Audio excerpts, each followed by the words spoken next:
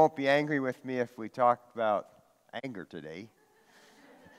if so, well, you've come to the right place because we're going to hopefully get some good tips this morning about that. So let me start with a testimony of something God did in my own life regarding anger. I just want to give God credit for this.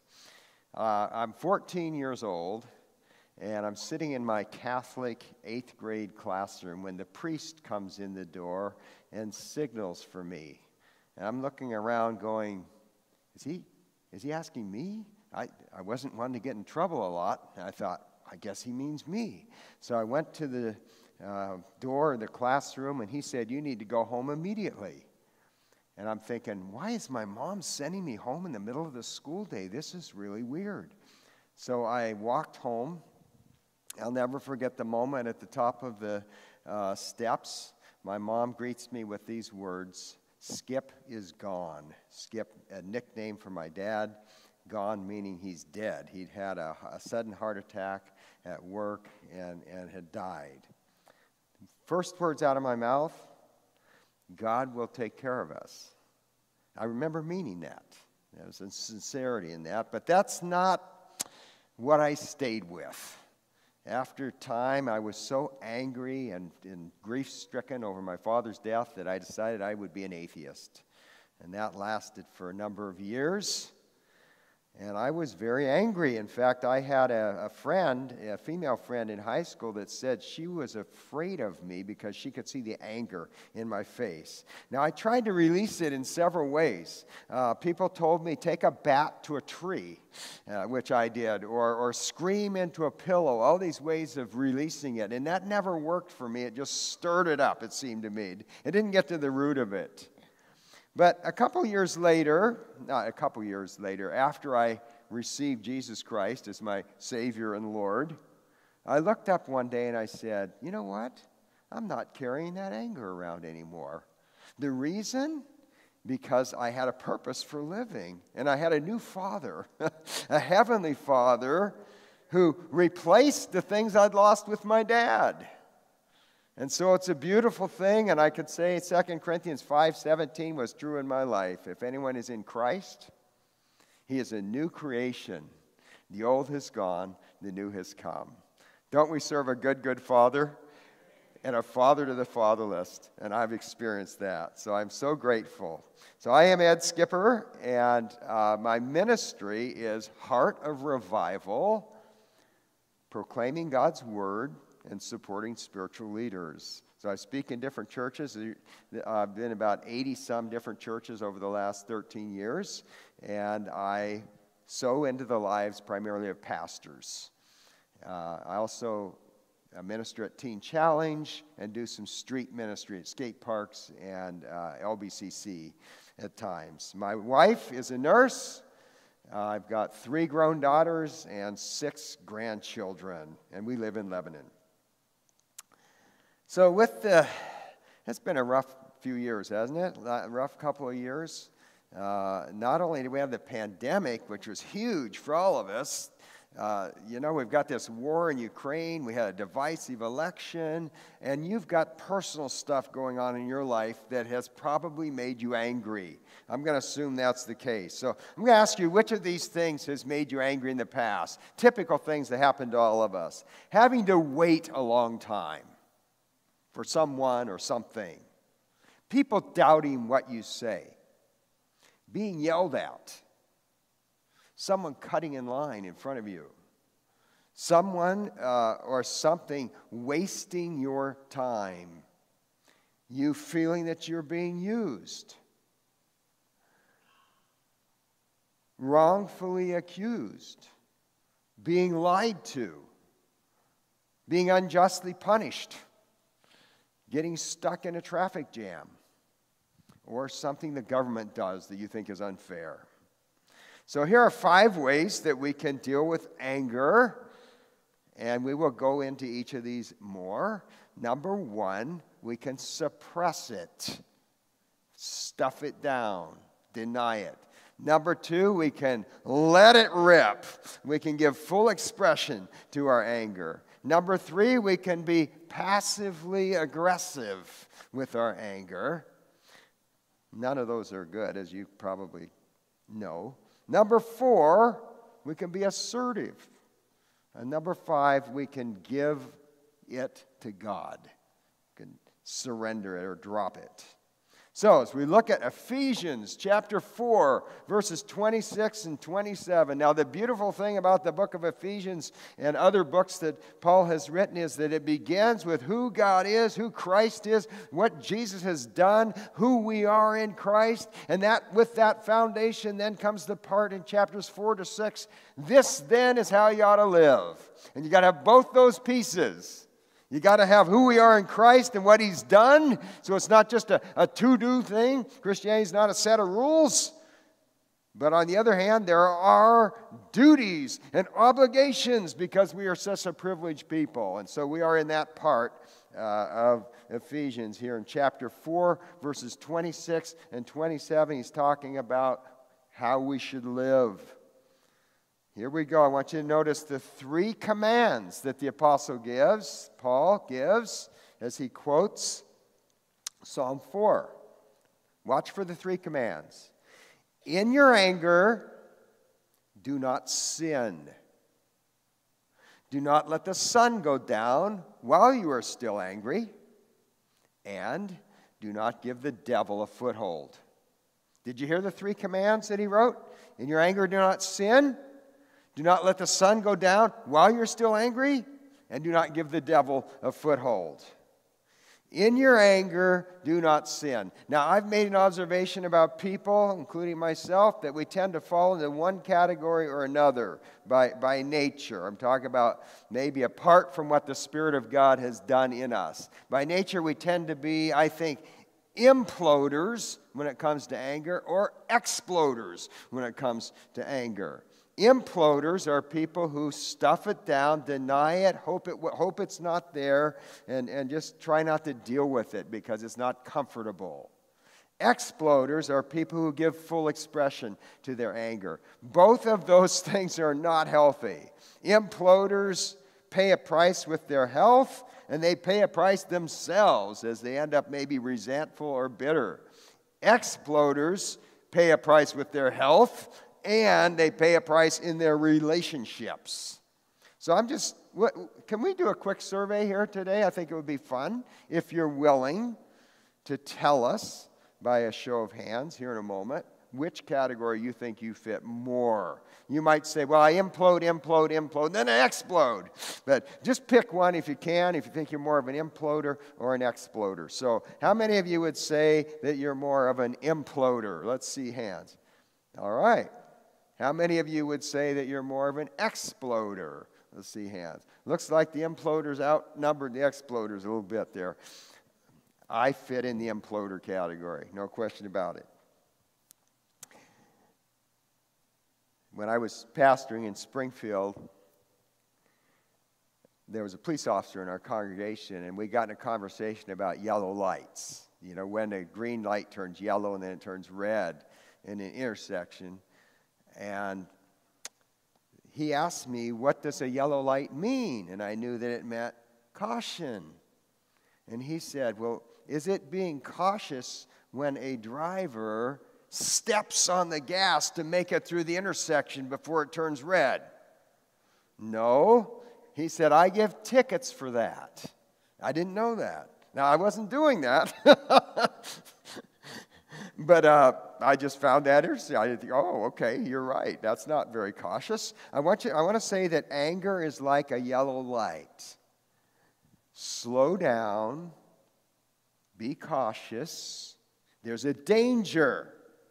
Anger is dangerous. In your anger, do not sin. Okay? Don't ignore it like a yellow light, and don't speed ahead. That's how we should treat anger. In your anger, do not sin. So, anger in itself is not the sin here. He's assuming that you'll be angry in your anger. Do not sin. It's dangerous. It can easily lead to sin. Even righteous anger, even when you're angry at things you ought to be angry about, is dangerous. Doesn't mean we shouldn't have it. It just means you need to see it as a yellow light and be cautious because it can lead to sin. Now, I learned early in my life that anger is not okay. That's kind of what I was taught by example. And uh, when, when my dad died, I hated the anger that I felt, and I just didn't want it to be there. And and as a Christian, I thought, oh, this is not very good. Um, I shouldn't be angry. I'm a Christian. Uh, I want to be this perfect person. And so, through all of those things, I learned to stuff my anger.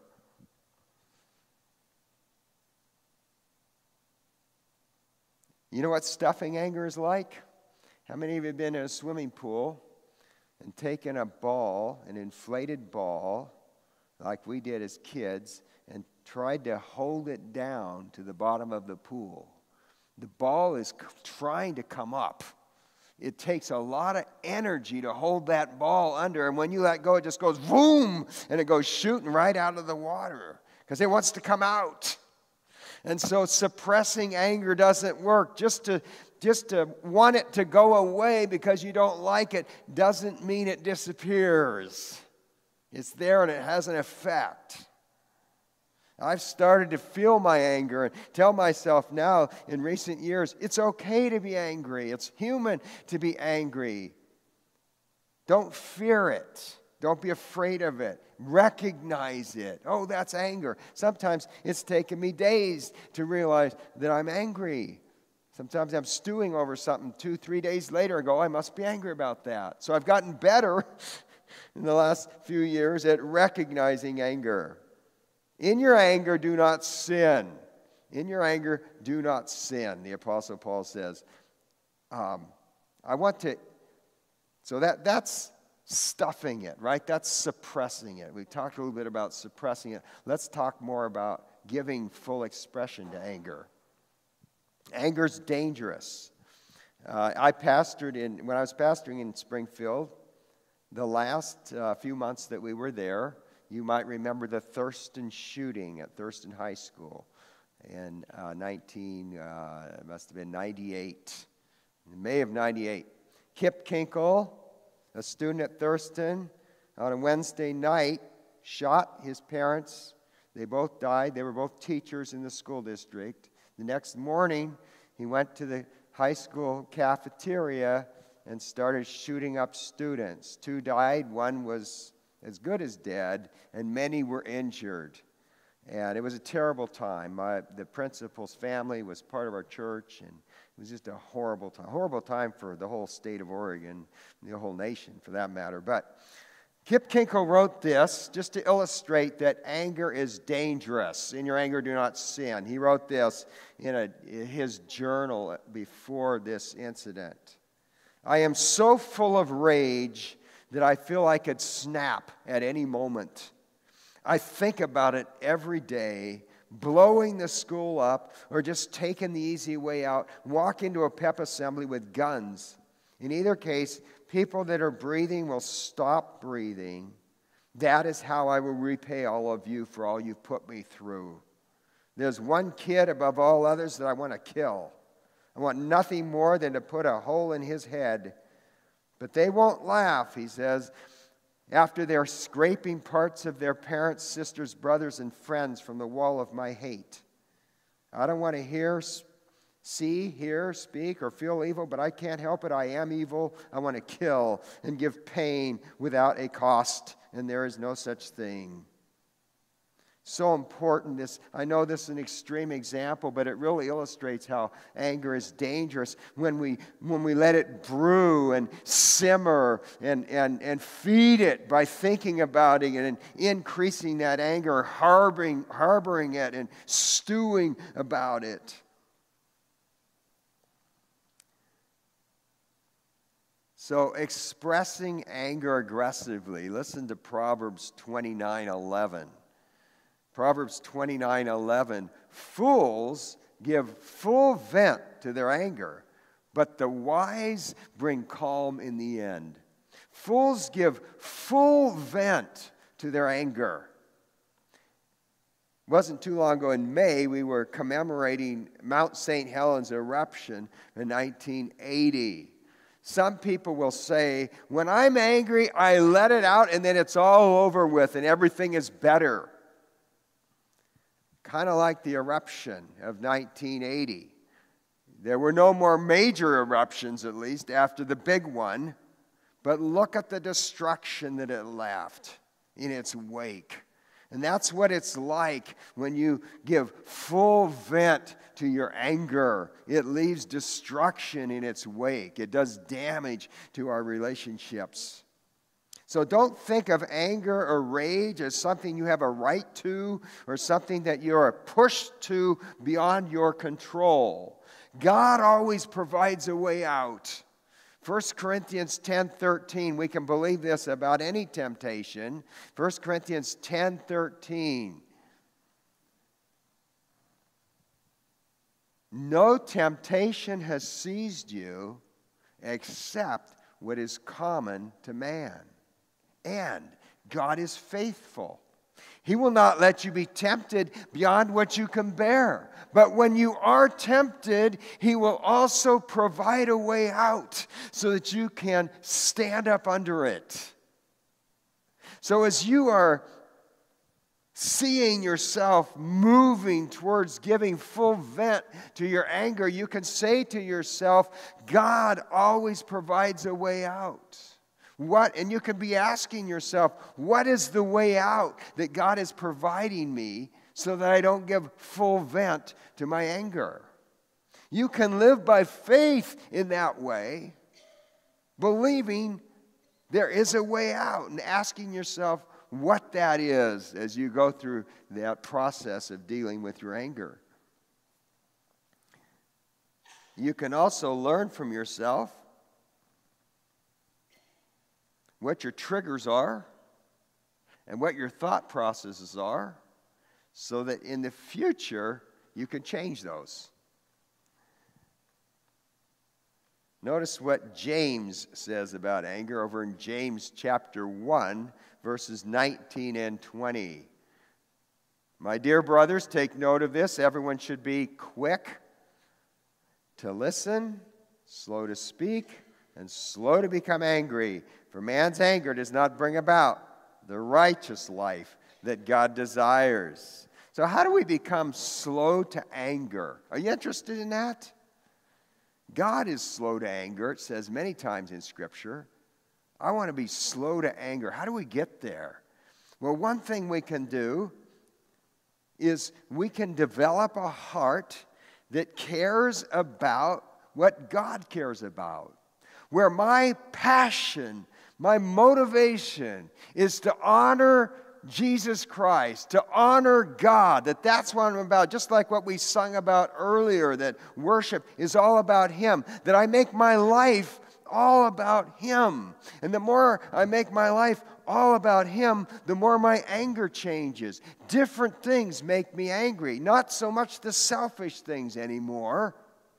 As we develop a heart that wants to honor God, and that's the main goal of our life, it changes what we become angry about. And we do become slow to anger. Another thing I think of when it comes to asking the question, how can I become slow to anger, is this.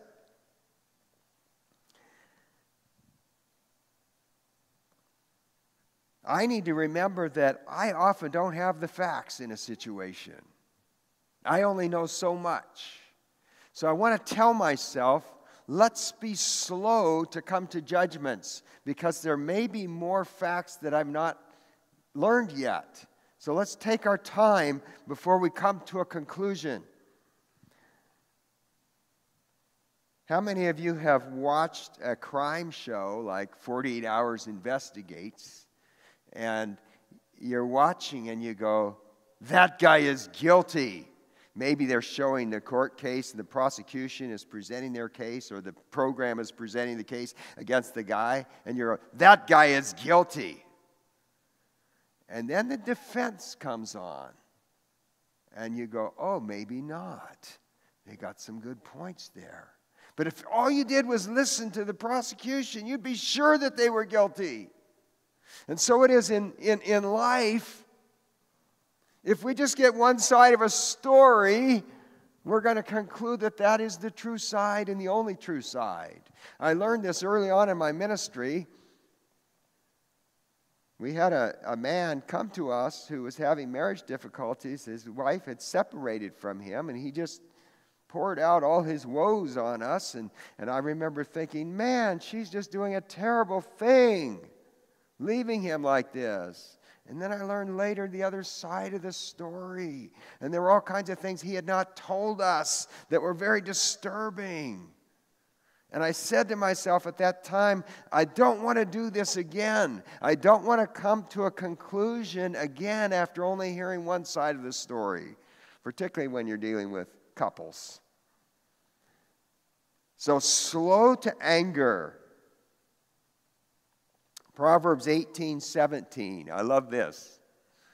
In a lawsuit, the first to speak seems right until someone comes forward and cross examines. So let's be careful. Let's be slow to judgment. In your anger, do not sin. Third unhealthy way, we've talked about suppressing anger, talked about giving full expression to anger. And here's a third unhealthy way, and that is to be passive aggressive. Which of these have you had done to you? Or better yet, which of these have you done to other people? Isn't it true that we recognize what's been done to us that's wrong quicker than we recognize that what we've done to other people. We see that plank in our brother's eye and we want to remove it. We, or, I mean, the speck in our brother's eye and want to remove it when we have a plank in our own eye. And so, so may the Lord show us if we're doing any of these things. So here we are. We're talking about passive aggressive. Have you ever given someone the silent treatment? That's passive aggressive. Have you ever uh, not said no to something that you don't want to do.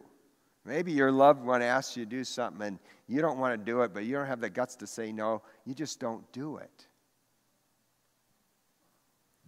How about dishing out sarcastic humor? Yeah, passive aggressive. How about complaining behind someone's back about them, but acting like your best buddies when you're with them?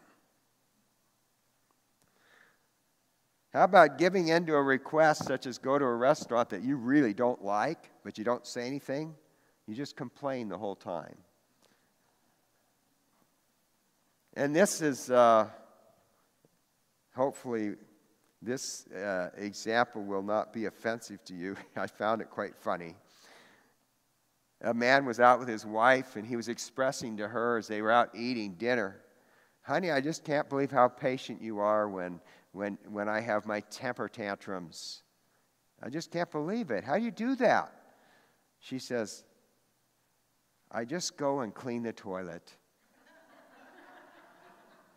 what does she use? His toothbrush.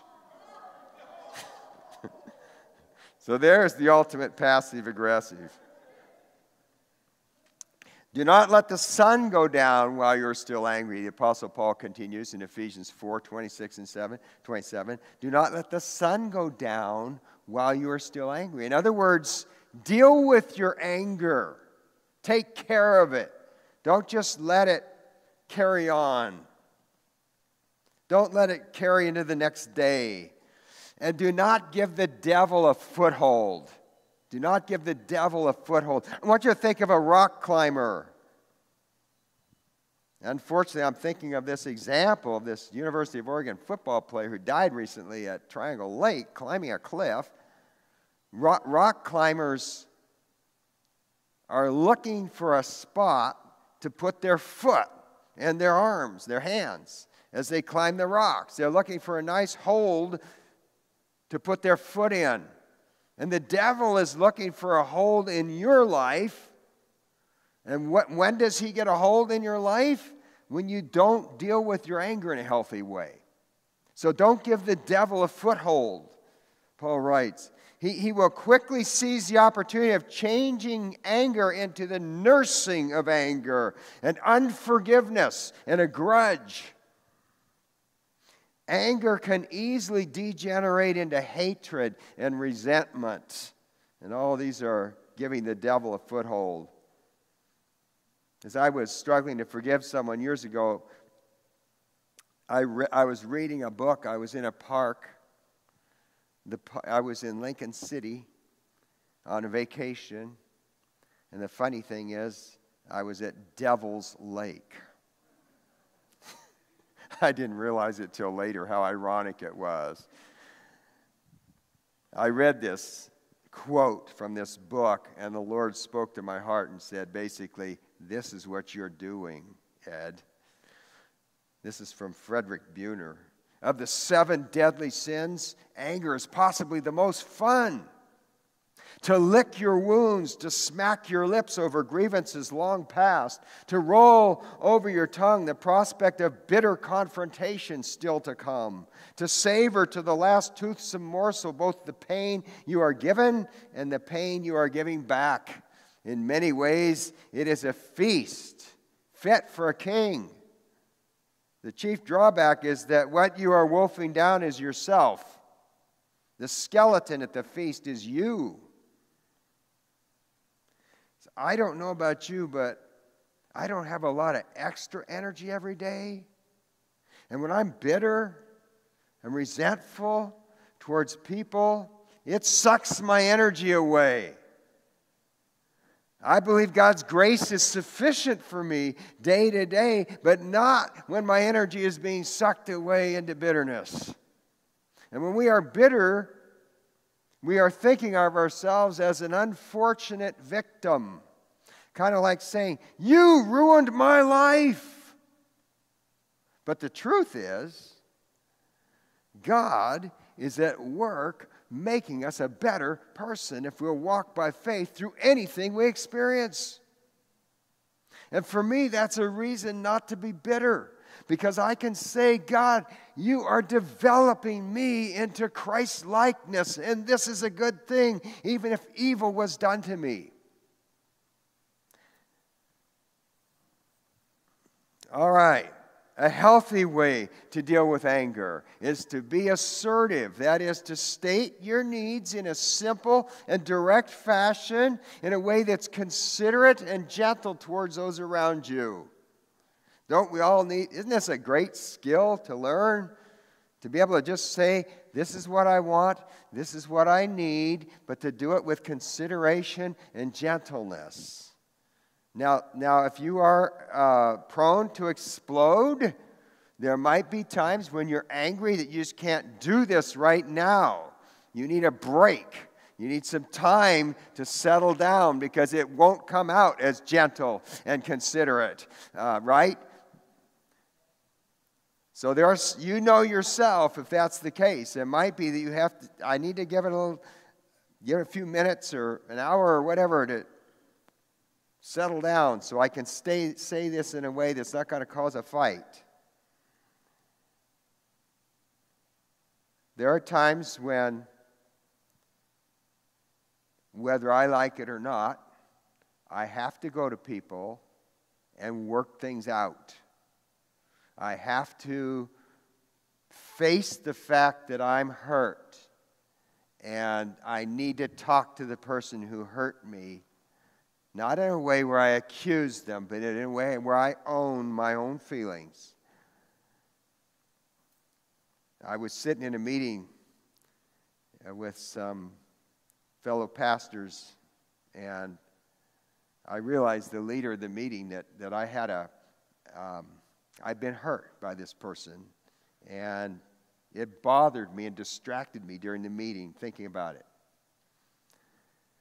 And what I should have done was I should have said, hey, um, can we stay a few minutes afterwards and talk?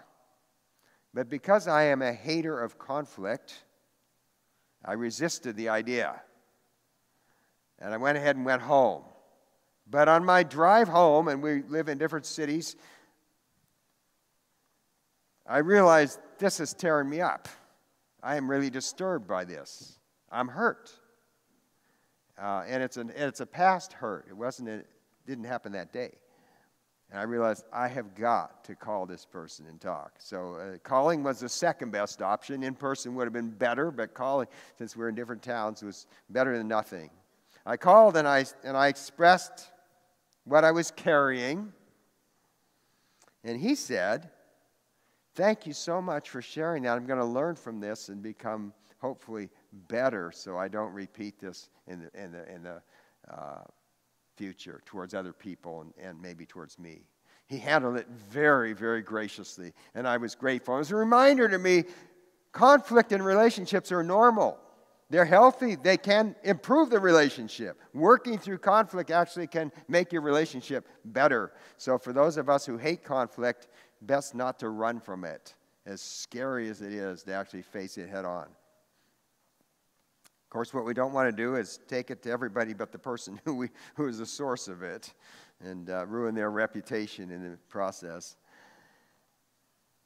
Another thing we can do, besides being assertive and stating our needs in a way that's considerate, is to take it to God, uh, to drop it, to turn it over to the Lord. Now, sometimes I don't know if I can take it to the Lord and that'll be enough, or if I need to talk to somebody and work out my thing. Because those of us who hate conflict sometimes will say, Well, I just won't face it, I'll just take it to God. Well, I know that's not working when, it's, when it goes on and on, and I'm still disturbed about it. I've tried to hand it over and surrender it to the Lord, I'm still disturbed about it. To me, that's a sign I need to talk to the person. Okay? But there are many times when the answer simply is, to surrender our anger to the Lord. One example in my own life, in one of the churches that I pa- I've pastored two churches, and in one of them, I got a call about the salary package and all the details of that several months before I arrived. And they said that they pick up the Social Security uh, they're the employer and the employee part of the Social Security. I said, that's, that's great. And so then, when I got there, it wasn't true. They had changed their policy, and no one had told me. And I, I was offended, okay? Um, but I got to thinking about it. I know how churches operate, and I, I, had to figure, you know what, there's probably nothing personal here. They're just trying, the church had monetary problems. They had to make a decision to cut expenses, and no one forgot to tell me that that would affect me. Um, and I said to the Lord, I said, God, I'm just going to drop this. I'm not going to bring it up, not going to confront or anything. I'm just going to drop it. I'm going to give it to you. And you know, it worked. It just like, it was never an issue again for me. It didn't carry us intensity. So isn't it, isn't it good to know we can just take our stuff to God? and give it to him. What a good, good father. Amen. All right, let me close with a couple of illustrations. These are from the news. Going back to June of 2021, you might have heard this in the news. There was an accident in Utah where a car hit a semi truck and the driver of the car was a nine year old girl, and the passenger in the car was her four year old sister. Very early in the morning. The nine year old got the bright idea that she and her sister would drive from Utah to California in the family car. She got her sister up. Apparently, her four year old sister thought it was a good idea too, or maybe she just submitted to her older sister. I don't know what happened. But she got her up in the night, and they got in the car and headed for California. And uh, not surprisingly, they got in an accident. The accident was not that serious, fortunately. The police called the parents who thought their children were in bed. they didn't even know they were gone, let alone they, there'd been an accident in their car. Someone has said this about anger anger is like a child. You don't want it driving the car, nor do you want it stuffed in the trunk. Which brings me to the second news illustration. January of this year, a mother was charged by authorities because she had her 13 year old boy stuffed in the trunk when she went for COVID testing because he apparently tested positive at home. And now she's at the drive up testing site with her 13 year old son in the trunk, and she got arrested. Again, anger is like a child. You don't want it driving the car, nor do you want to stuff it in the trunk. So, in your anger, as Paul says once again, in your anger, do not sin. Do not let the sun go down while you're still angry, and do not give the devil a foothold. Lord, we confess that anger can be hard to deal with, and we affirm that yes, it's dangerous and it can lead to sin. Help us those of us who tend to implode, help us to recognize and accept our anger and not pretend that it's not there when we have it. For those of us who tend to explode, teach us, empower us not to give full vent to our anger. For those of us who tend towards passive aggressiveness. Let us see it and recognize it when we're doing that and, and stop it. We don't want to handle our anger in that unhealthy way. Do give us the courage to speak to people we need to speak to, to be assertive, stating our needs in a gentle way, and Lord, help us to turn it over to you, and that's what needs to happen, just to release it and surrender it to you. Thank you. In Jesus' name. Now, if any of you want prayer regarding anger, maybe you were stirred up this morning. Um, I'd love to pray for you, and I know there's a group here that would love to come and pray for you. So at the close of the service, if you want to come up, please do. And we'd love to pray with you because we all need prayer and support from our brothers and sisters. Uh, if you are interested in a relationship with Jesus Christ, if you are interested in eternal life, and what it means that Jesus died on the cross and rose from the dead in your life, we would love to talk to you about that as well. So feel free to come to the close of the service for prayer in that way. And finally, if you're interested in my ministry, and particularly my teaching and preaching. I've got several devotionals, over 200 devotionals online, and sermons online. Um, may God's healing grace and His power be evident as you deal with anger in your life.